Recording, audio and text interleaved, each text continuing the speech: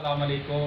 السلام علیکم ناظرین، میں ہوں اشتیاق عبد الکریم اور آج میں آیا ہوں شاذلی ہربل کلینک میں، یہاں ہمارے مفتی صاحب سید بابر شاہ گیلانی، ان کی طبیعت ناساز تھی تو آج میں نے سوچا کہ ان کے دواخانے جایا جائے اور ان سے جو ہے بات کی جائے۔ تو ناظرین، اس وقت میں موجود ہوں ان کے سامنے، آپ کی بھی ان سے بات کراتے ہیں۔ مفتی صاحب، کیسے ہیں آپ؟ کیسی طبیعت ہے آپ کی؟ خیریت سے ہیں آپ؟ ٹھیک ہیں؟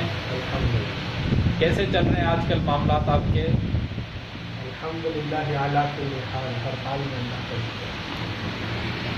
ناظرین یہ تھے ہمارے سید بابر شاہ گیلانی اور یہ اس وقت میں شاذلی ہربل کلینک میں موجود ہوں۔ کافی کافی قابل شخصیت ہیں۔